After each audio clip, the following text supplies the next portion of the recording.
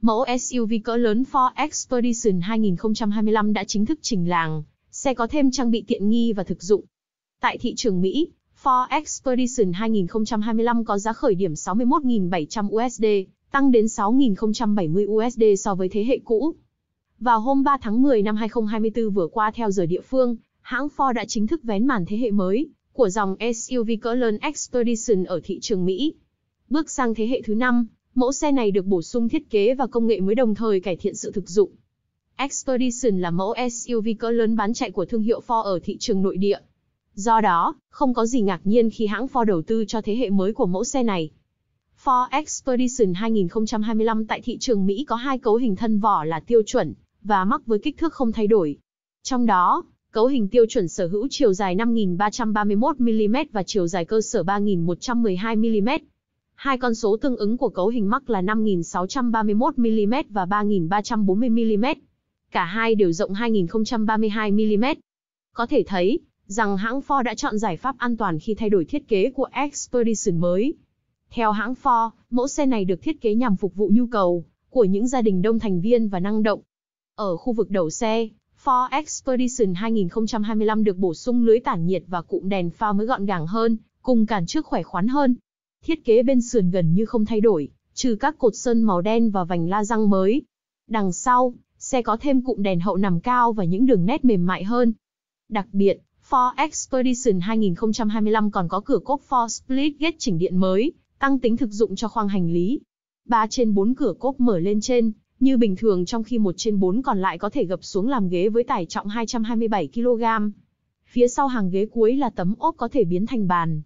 Ngoài ra, khoang hành lý của xe còn có thêm ổ điện để sạc các thiết bị điện. Trong khi đó, đèn tích hợp trên cửa cốp biến mẫu xe này thành lựa chọn lý tưởng cho những chuyến dã ngoại.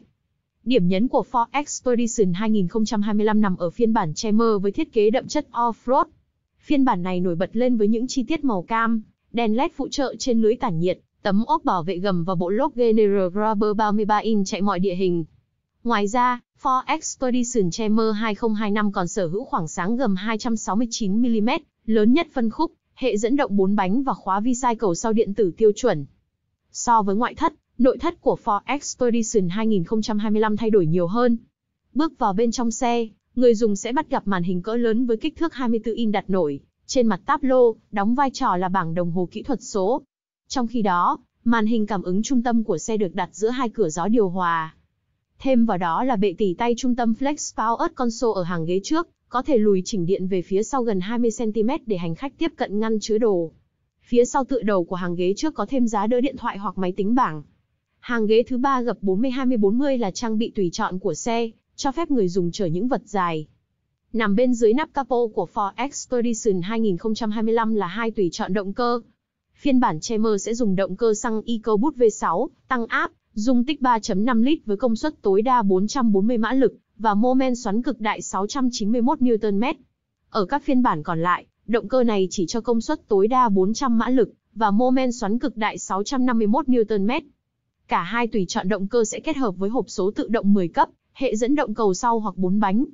Sức kéo của xe dao động từ 3.175, 4.355 kg, tùy phiên bản. Cuối cùng, là gói công nghệ an toàn chủ động Blue Cruiser ADAS dành cho phần lớn các phiên bản của xe. Trong đó, có cả hệ thống trợ lái bán tự động rảnh tay trên cao tốc. Theo kế hoạch, hãng Ford sẽ bắt đầu nhận cọc cho mẫu SUV cỡ lớn này vào cuối tháng này.